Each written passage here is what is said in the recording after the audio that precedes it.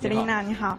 好。呃，其实刚刚在听你的这个演讲过程当中，就是你所有的这些经历，我非常非常能够理解。其实我自己也是。从三岁的时候就被发现患有这个先天性重度神经性耳聋啊，其实说白了就是听力有问题啊，嗯，然后呢，四岁的时候就开始佩戴这个助听器，啊，它就是帮助人听声音，嗯，后来呢，也是我的妈妈，她教我去说话，所以你刚刚整一个演讲，我是从头哭到尾，你好棒啊！那个心态的问题嘛，真的就很重要。像刚刚 Selina 怕虫子，其实我就没有这个压力啊，因为虫子飞不进我的耳朵里，我带着助听器啊。好，很乐观，很棒。但是我现在就有一个困惑，就是当我想要努力的走出来的时候，身边经常会有人啊，不自主的就会拍拍肩膀。孩子真坚强啊，孩子真不容易啊！你有一个伟大的妈妈。我第一次的时候，我会觉得是一种鼓励；第二次，孩子真坚强啊，孩子真不容易呀！我已经跟身边的人好像没有话题聊了，永远一坐下来，哇，你真坚强啊！我说对，我有一个很伟大的妈妈。在每一次我一点一点走出来的时候，周围总是有人会不由自主的，或者是不是故意的，就在一点一点把我往回拉。所以我就想问 Selina，其实您作为这个娱乐圈里面的一个艺人，一定会碰到很多很多这样的情况，身边还是会有人，当你想走出来的时候，会不由自主的去揭你这个伤疤。这个时候你是怎么看待这样的一群人，这样的一件事？其实幸亏你问了，我差一点就说出来。孩子，你真坚强。你妈妈真的很棒，很伟大。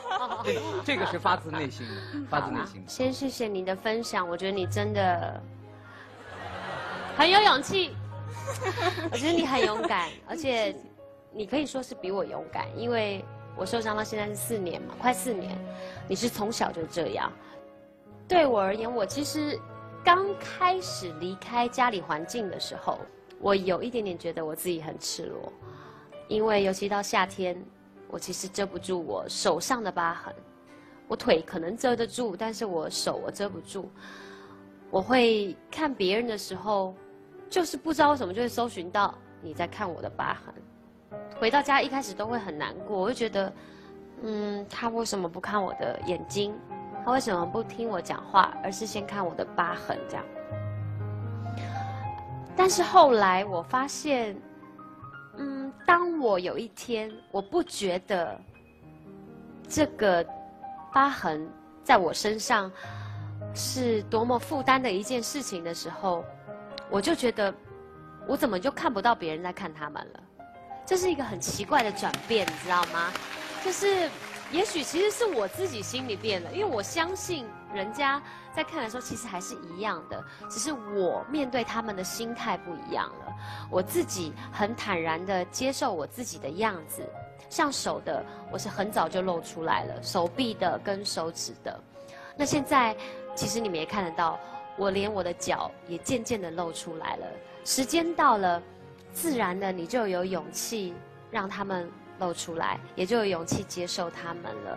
所以，我觉得这是我的经验。也许，我不知道你是不是也是这样。有一天，你就会不觉得人家讲这样有什么压力，因为你自己很自在、很自信、很快乐。可能上帝太疼爱你，一个这么美丽的姑娘，这个世界太嘈杂。所以她忘了把她堵在你耳朵里的手指拿掉，嗯，她一直呵护着你，不想让你被这个世界的纷乱所干扰。谢谢，谢谢，瑟琳娜加油，你也加油，加油，加油，加油。